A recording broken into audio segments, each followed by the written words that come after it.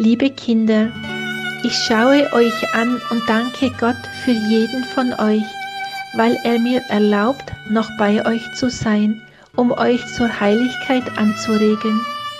Meine lieben Kinder, der Friede ist gestört und Satan will Unfrieden.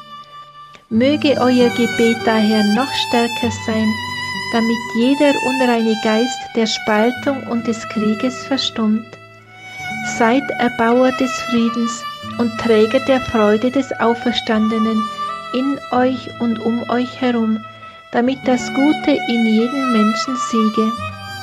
Danke, dass ihr meinem Ruf gefolgt seid.